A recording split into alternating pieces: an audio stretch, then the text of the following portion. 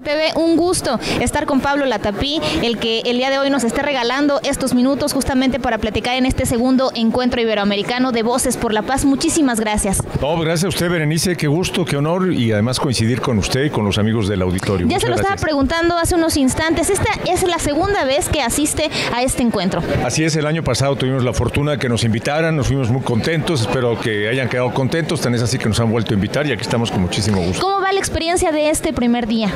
Bueno, pues acabo de llegar, estoy desempacando, pero veo que ha crecido muchísimo el evento, que hay mucho más movimiento, mucho más interés y entonces esto promete, promete muchísimo. Ya después pregúnteme cuando ya haya transcurrido un par de horas y con mucho gusto. Periodista de muchísimos años, con una trayectoria sumamente importante en la televisión mexicana. Por supuesto, ¿qué, qué es la idea sobre todo que usted le daría a estas nuevas generaciones que vienen el día de hoy? Escucha, ya estábamos viendo también a diferentes eh, personas, obviamente de renombre, pero también mucha, muchos estudiantes que vienen, que escuchan a estos líderes globales y que sobre todo muchos de ellos también pues van encaminados hacia el periodismo de hoy.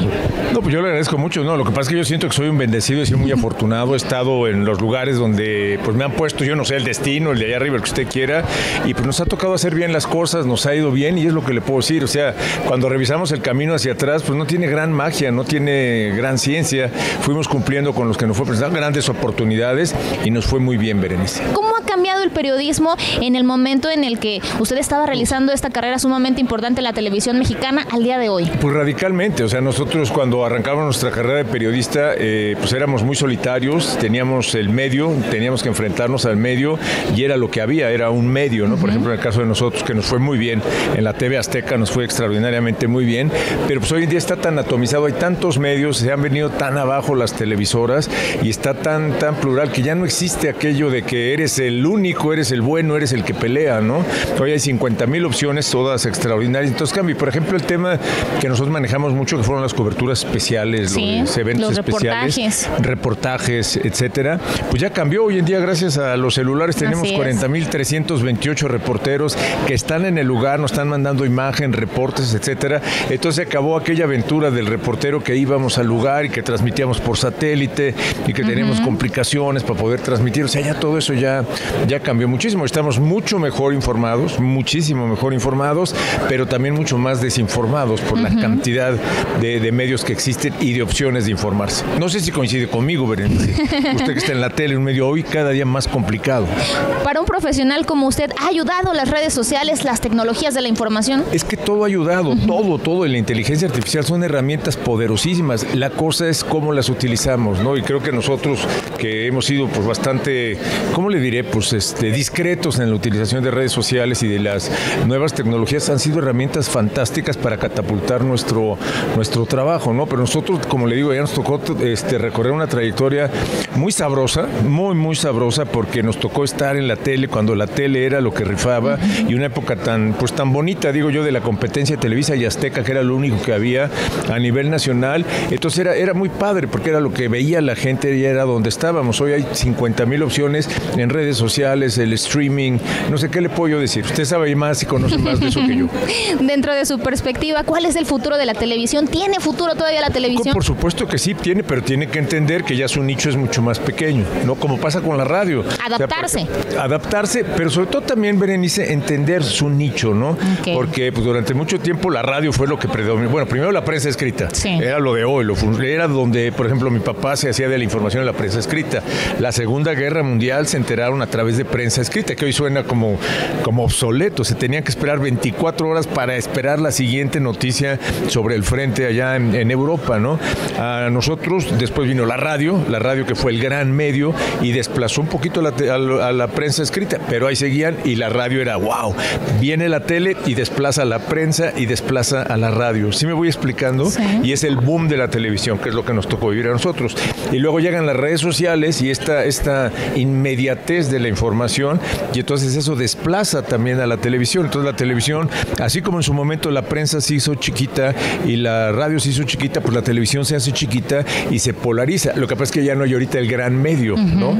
Ya está, insisto, tan atomizado, son tantas las opciones que claro. lo que tenemos es como, pues como una milpa, ¿no? Llena de, de, de, de para cantidad de maíz para todos, el uh -huh. que quiera, pero ya son los las, son pequeñitos, ¿no? Ya las coberturas son pequeñitas. Así es. Dentro de este encuentro que, sobre todo, bueno, pues platicábamos acerca Estos líderes globales, estas diferentes acciones que han puesto pues para eh, cultivar las acciones de la paz y demás, hablando acerca del periodismo. Hoy en día el periodismo, bueno, es sumamente complicado realizarlo en nuestro país. ¿Cuál es dentro de esta trayectoria tan importante que usted tiene y sobre todo la experiencia?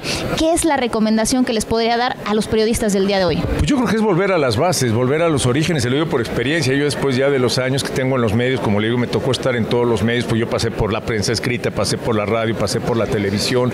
Hoy estoy volviendo a hacer radio en Guadalajara, nos va muy bien.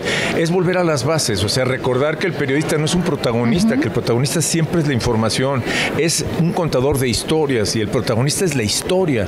O sea, no porque usted sea muy, muy, muy bonita y muy talentosa y tenga mucho rating, pues es la estrella. Si no hay noticias, no hay estrellato, no hay protagonismo. Entonces, volver a eso y entender que el protagonista es la historia, que somos contadores de historia, que en este caso el periodista es el contador de la historia todos los días, ya sea a través de la tele, de la radio o a través de las redes sociales. Así es, Pablo, háblenos acerca de la participación que va a tener en este segundo encuentro. Bueno, nosotros somos unos firmes creyentes de que para como está el país, como está el mundo, que nos han insistido en pintar de colores y decir que si usted es morado, que yo soy naranja, que usted es verde, pues nosotros le apostamos a, construir desde abajo a partir de las emociones, ¿no? Y es ciencia, ¿eh? No creo que son este, jaladas de gurú o de New Age, pero es ciencia porque es psicología positiva y, la, y las emociones es lo que puede cambiar al mundo, ¿no? O sea, cuando hacemos esto que estamos haciendo usted y yo, Berenice, en un ensamble emocional, un contacto emocional, si yo lo hago también con ella, con ella, con él, podemos empezar a cambiar nuestro entorno. Y esa es la apuesta que nosotros traemos ya desde muchos años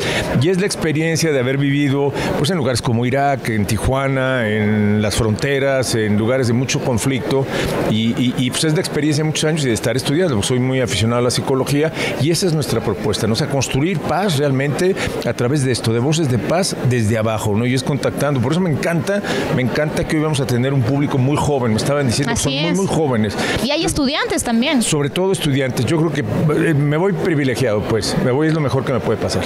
¿Cómo se siente de venir a tierras guanajuatenses? Ah, no, en Guanajuato feliz. Aunque más o menos, porque soy chiva, entonces aquí siempre hay una rivalidad muy fuerte entre, entre León y, las chivas, ¿no? Pero, pero bien, no, muy a gusto, siempre muy a gusto León.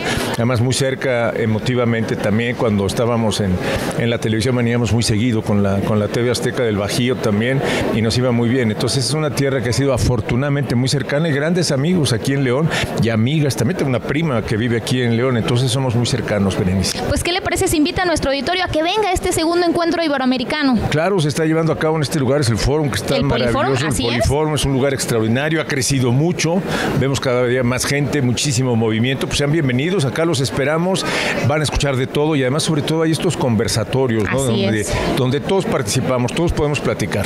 Pues yo le agradezco enormemente el que nos haya regalado estos minutos, un gusto haber platicado con usted y sobre todo, todo sobre todo, pues una gran trayectoria, ya la mencionábamos, la que usted, tiene. Es usted buena, es usted buena en su chamba, Berenice. y que nos pueda estar regalando estos minutos para que nuestro auditorio conozca más acerca de usted. Es un honor y un privilegio haber sido entrevistado, platicar con usted. Muchísimas, gracias. Continuamos con mucho más.